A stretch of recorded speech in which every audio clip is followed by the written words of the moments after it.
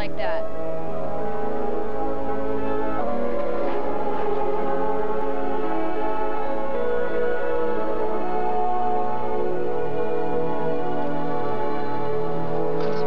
Triple flip combination, and again, not enough rotation.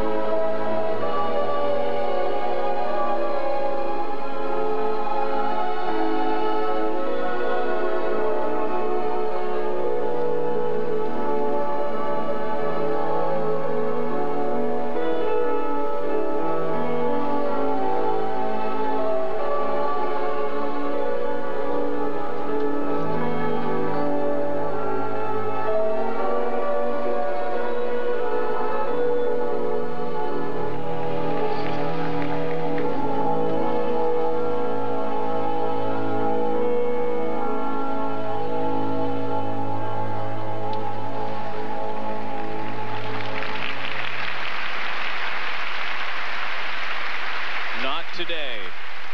21-year-old Nancy Lemieux, the Atlantic Divisional winner, fifth at the Canadians last year. Her marks and our final skater to come.